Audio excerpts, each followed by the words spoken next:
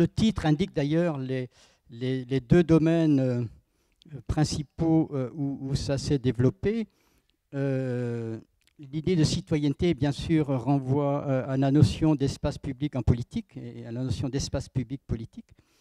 Et la notion de relation en public renvoie plutôt à un tout autre domaine qui est celui euh, des interactions sociales et des relations sociales dans ce qu'on appelle les lieux publics.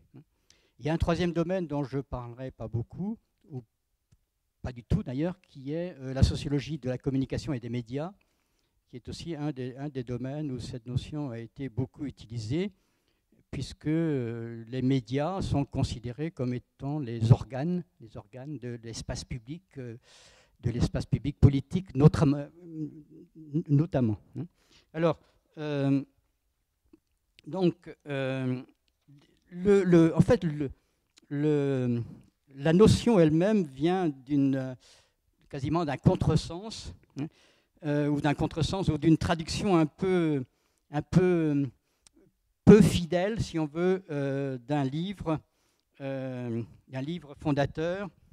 attendez, je vais passer, voilà, les trois domaines d'usage, voilà, d'un livre euh, fondateur euh, d'un philosophe et théoricien allemand qui est Jürgen Habermas. Hein. Euh, donc, et, son livre s'appelle L'espace public précisément, donc qui est un livre que Habermas a écrit en 1962. Il était encore tout jeune à l'époque, il avait une trentaine d'années, et donc et qui a été traduit par l'espace public alors que le titre allemand lui-même, là vous la voyez apparaître sur la diapo, c'est Strukturwandel der Offenlichkeit. Donc, c'est le changement de structure. Alors, Offenlichkeit, bon, je, reviendrai tout à l'heure, c'est un, concept euh, notamment, c'est un concept des Lumières, hein, et qui veut dire euh, ouverture, publicité. Hein. Et, euh, et, donc, effectivement, c'est ce concept d'Offenlichkeit de, qui a été traduit par espace public. Et donc, le sous-titre du livre euh, reprend d'ailleurs le terme hein, archéologie de la publicité comme dimension constitutive de la société bourgeoise. Donc c'est une, en fait c'est une description euh, de l'émergence de ce truc bizarre hein, qu'est euh, la sphère publique ou qu'est l'espace public dans, les sociétés des XVIIe et XVIIIe siècles. Hein. Bien sûr, cette publicité n'est pas la, publicité commerciale, mais donc c'est le, principe de, publicité des débats et le principe de, publicité des décisions politiques dans un État démocratique. Hein. Euh, donc, euh, Habermas ne parle pas d'ailleurs d'espace public, mais son, terme, son terme habituel, c'est plutôt sphère publique. Hein.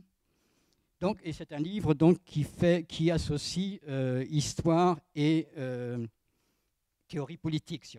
Donc, j'y reviendrai tout à l'heure. L'autre auteur important euh, l'autre auteur important, euh, donc pour l'autre secteur, si on veut, celui des relations publiques et de l'étude des relations et des interactions dans les lieux publics. Je ne sais pas si vous avez entendu parler de ce sociologue américain qui est Erving Goffman. Hein. Erving Goffman, donc, euh, c'est un sociologue qui s'est spécialisé dans l'étude des interactions sociales, dans ce qu'on appelle l'étude de l'ordre des interactions. Hein. Et il s'est intéressé à, l'étude des comportements dans les lieux publics. Dans les lieux publics, c'est-à-dire dans la rue, sur les places publiques, euh, dans les halls de gare, euh, dans le métro, hein, euh, dans les centres commerciaux, etc. Hein. Et donc, il expose précisément. Et donc, pour lui, la lui n'utilise pas la notion d'espace public, hein, il parle de lieu public. et ce qui définit ces lieux publics, c'est un certain nombre de règles qui régissent les comportements que je vais, je vais présenter. Hein. Mais avant de, donc, de présenter euh, ces deux auteurs et ces deux approches de l'espace public, je, vais euh, dire quelques mots euh, sur le caractère vague et la difficulté de définir les termes qui rentrent dans cette expression espace public. Donc on a espace et on a public. Alors, espace, effectivement, c'est un, un terme euh, qui, s'applique à beaucoup de choses. Hein. J'ai découvert en arrivant qu'on était dans l'espace euh, des sciences et des métiers, c'est ça? Donc, Et effectivement, l'espace des sciences et des métiers, ce n'est pas, simplement, c'est pas simplement un bâtiment, mais c'est aussi un lieu dévolu à une certaine fonction, à un certain rôle. Hein. Et donc, l'idée pour bon, un peu clarifier les choses, c'est de distinguer des, des espaces concrets et des espaces abstraits. Bon, on peut dire que cette salle où nous sommes, c'est un espace concret. Euh, c'est un espace concret euh, dont, on peut faire hein, une expérience sensorielle, si on veut, de, ces, qualités sensibles, à la fois ce qu'on voit, ce qu'on entend, ce qu'on sent. Hein. Donc c'est les sens qui sont impliqués pour appréhender, si on veut, cet espace, et c'est ce que j'appelle un espace concret. Hein. Et il y a euh, des espaces beaucoup plus abstraits. Hein. Même l'idée d'un espace dévolu aux sciences, par exemple, est, quelque chose déjà de plus abstrait que l'idée d'une salle dans, un bâtiment. Hein. Et précisément, l'espace public hein, n'est pas quelque chose, enfin du, moins, l'espace public dans la théorie politique, l'espace public politique n'est pas quelque chose dont on a une expérience sensorielle. On peut avoir une expérience sensorielle d'un lieu public, d'une place publique, des halls de gare. Hein. On y voit des choses, on sent, on entend du bruit. Donc, effectivement, on peut avoir une expérience sensorielle de cet espace et de ses qualités. Mais après, effectivement, il y a des espaces vraiment abstraits où il faut la médiation de l'imagination. Hein. Et ça, je reviendrai tout à l'heure parce qu'il me semble que c'est une grande caractéristique de l'espace public moderne, de l'espace public en tant qu'invention des Lumières au XVIIe et au XVIIIe siècle. Hein. Et précisément cet espace public inventé par les Lumières euh, au XVIIe, XVIIIe siècle n'est pas simplement un, concept ou une entité théorique, hein. c'est aussi quelque chose qui a nourri, qui a nourri beaucoup de pratiques, hein, de pratiques sociales et politiques, hein. euh, donc depuis, depuis cette époque, et donc en gros qui sont, qui sont les pratiques de la démocratie, les pratiques des médias, les, pratiques de liberté d'expression, d'enquête, etc. Alors donc le, terme espace, effectivement, euh, est souvent mêlé, et, là, il y a, les, choses ne sont pas vraiment fixées. On va en parler de domaine, on va parler de lieu, on va parler de sphère, de sphère publique, on va parler de scène publique, hein, euh, donc pour, euh, en gros, désigner à peu près la même chose. Donc ça, c'est le, quelques remarques sur le terme espace, quelques remarques sur le terme public. Euh, là aussi, donc, il y a toute une série de, distinctions assez, assez coutumières hein, que vous rencontrez souvent. Donc la distinction public-privé, entre autres, est une, est une, distinction très courante, mais qui aussi couvre des domaines différents. Hein. C'est une distinction juridique. Il y a des domaines, des propriétés privées, des propriétés publiques, des domaines publics, privés, des domaines publics. Il y a aussi la distinction que je vais appeler psychosociologique, hein, euh, qu'on retrouve beaucoup dans les débats, par exemple, sur où se trouve la limite entre le privé et le public dans la vie des personnages ou des personnes publiques. Hein évidemment ce qui est autre chose que l'aspect juridique, hein. bien que ça ait une composante juridique, mais hein, c'est deux domaines différents. Alors pour euh, essayer d'y voir clair, une, des manières d'avancer, c'est de se demander qu'est-ce que c'est rendre public, rendre quelque chose public. Alors, donc là, j'ai mis sur la, diapo quelques réponses possibles. Rendre public, c'est informer, bien sûr. Euh, c'est divulguer et arracher au secret. On verra tout à l'heure que c'est vraiment une des clés de l'idée d'Offenlichkeit telle qu'inventée par les Lumières. C'est l'idée de rendre transparent ou de soumettre au regard de tous. Et euh, c'est l'idée de rendre communes des significations, et entre autres des significations des événements. C'est ce que font entre autres les médias lorsqu'ils rendent public ce qui se passe, les événements. Ils ne se contentent pas d'informer de ce qui se passe, ils donnent aussi des significations à ce qui se passe et ça permet de rendre communes ces significations-là. Hein. Alors, il y a euh, une théorie qui a été développée que, vous allez peut-être rencontrer dans vos études hein, euh, plus tard, qui est la théorie du common knowledge. Hein.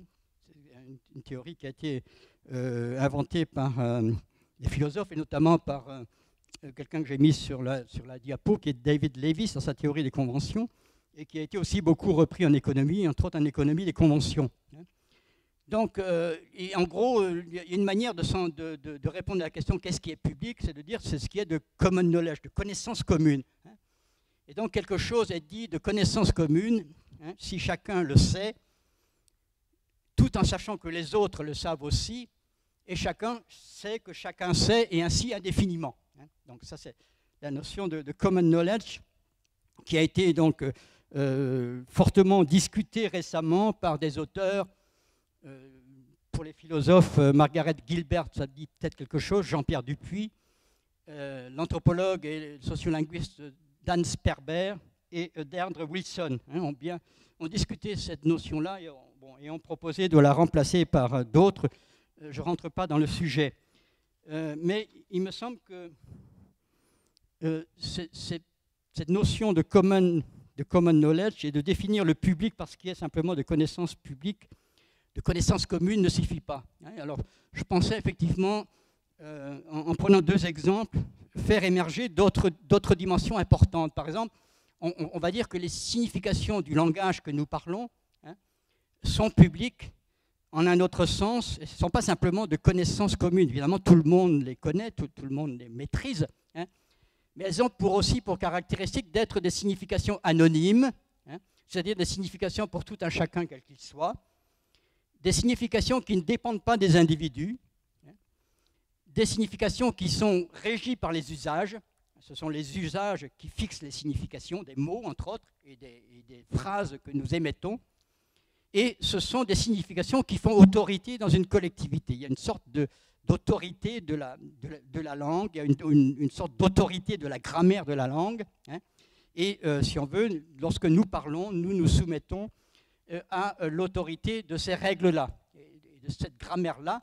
Et donc, effectivement, c'est une autre dimension de la notion de public, me semble-t-il, hein, qui, n'est pas présente dans la notion de, common knowledge.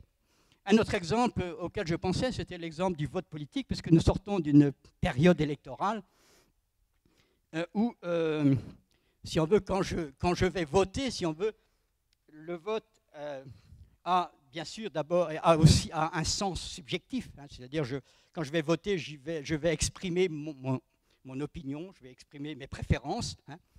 et donc, et cette opinion peut être commune avec, mon voisin, par exemple, s'il se trouve que nous avons les mêmes opinions politiques et que nous votons pour les mêmes listes aux, aux élections. Hein.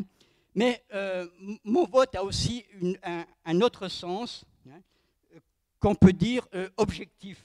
Hein. C'est-à-dire qu'effectivement, quand nous allons voter, c'est que cette pratique de voter a une certaine signification pour nous dans le type de société dans laquelle nous sommes.